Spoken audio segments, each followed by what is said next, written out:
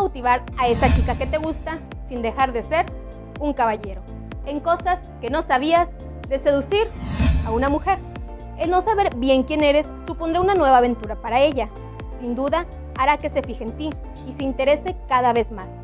Cuéntale cosas sobre ti, pero no se lo digas todo, y así poco a poco te volverás completamente irresistible para ella.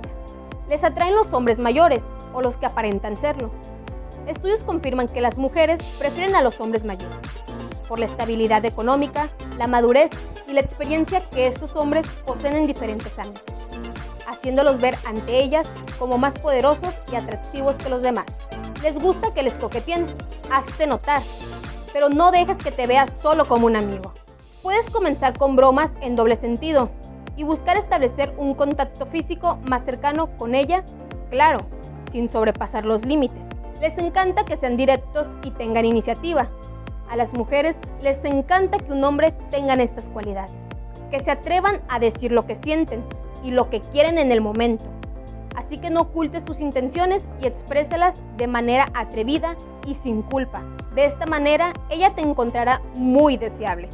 Sé un poco travieso, sé algo picante o, o travieso, pero discreto, sin ser grosero, claro.